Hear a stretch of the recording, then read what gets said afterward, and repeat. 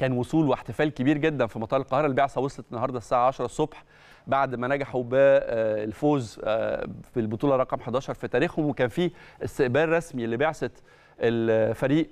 طبعا دكتور أشرف صبحي وزير الشباب والرياضة مع كابتن محمود الخطيب مع أستاذ طارق أنديل مع طبعا يعني كل أعضاء مجلس إدارة النادي الأهلي. وهي بالمناسبة أنتوا عارفين انه بعثة منتخب مصر كانت بتسافر النهارده. كابتن حسام غالي اللي كان بيترأس البعثة خد يعني أنا عارف إنه لقطة مش متعودين عليها كتير لكن لقطة بتحكي أو بتقول أو بتفهم أو بتوري حاجات كتير جدا من فلسفة الإدارة في النادي الأهلي.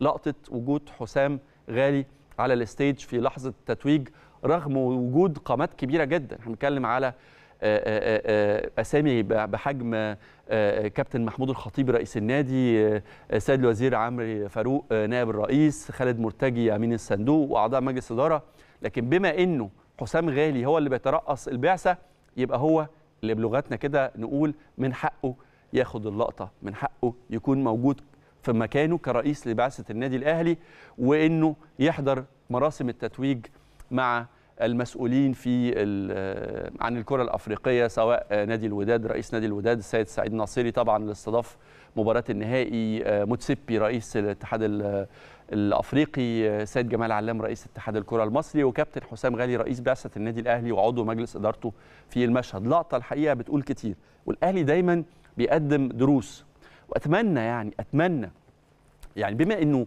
إنه الأهلي دايما بيرفع شعار نحن نعمل في صمت أنت بتتكلم على على نادي السنة دي بس السنة دي بس.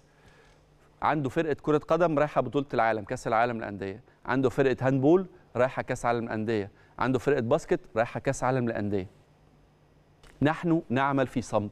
إمتى شفت أي مسؤول على أي مستوى مش بس مجلس الإدارة أي مسؤول في النادي الأهلي بيطلع ينسب لنفسه الإنجاز أو بيطلع يتكلم على مجهوداته في تحقيق هذا الإنجاز وفضله على ناديه. ما حصلش.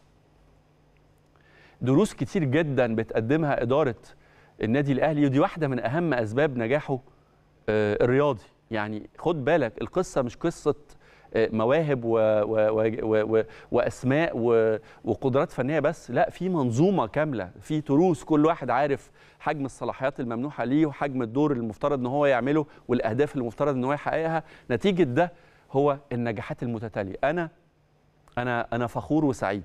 أنا فخور وسعيد بانتمائي حتى لو ليا دور صغير جدا لاسم وكيان وشعار النادي الأهلي. أنا في ثلاث سنين ظهرت فيهم على شاشة كان ليا الشرف الظهور فيهم على شاشة النادي الأهلي. شفت الأهلي بيتوج بعدد مهول من الألقاب. ألقاب عالمية ألقاب وتتويجات عالمية إفريقية محلية حدث ولا حرج. مفيش سنة بتعدي علينا إلا لما الأهلي يكون محقق إنجازات على كل المستويات. ثلاث سنين شفت فيهم حضور الأهلي في أربعة نهائي دوري أبطال في أقل من ثلاث سنين. أنا آسف في أقل من ثلاث سنين. شفت حضور الأهلي ومشاركته في ثلاثة نهائي دوري الأبطال توج بثلاثه منهم. والرابعة كان الأحق والأقدر بس أنا ما بحبش أرجع للتاريخ. ويمكن امبارح حتى في الاستوديو التحليلي على قنوات بي إن كلموا على فكرة إنه تصريحات الشناوي ولما الشناوي قال بعد المباراة إن إحنا كلاعبين حسينا بظلم طبيعي جدا يقول كده. وجماهير النادي الأهلي حست بظلم شديد جدا في النسخة الأخيرة. مش فاهم يعني ما كنتش فاهم سبب الاعتراض على تصريحات الشناوي بأن هو شعر بظلم. وهل لو كانت المباراة قرر تم يعني إقرار أو تم اتخاذ قرار بأنها ستقام من جولة واحدة في القاهرة في التوقيت ده هل فريق الوداد أو أي فريق تاني منافس كان وصل للمباراة دي ما كانش هيشعر بالظلم؟ قصة ملهاش علاقة بنادي الوداد على الإطلاق وإحنا أكدنا على ده مرارا وتكرارا. خلينا نتكلم مع حضراتكم على فرحتنا وعلى ماتش امبارح. أنا بس الكلام خدني لكن في النهاية عايز أقول لك إنه الأهلي لا يعنيه تماما أي منافس. الأهلي مش باصص غير في كراسته. الأهلي مش شايف غير نفسه.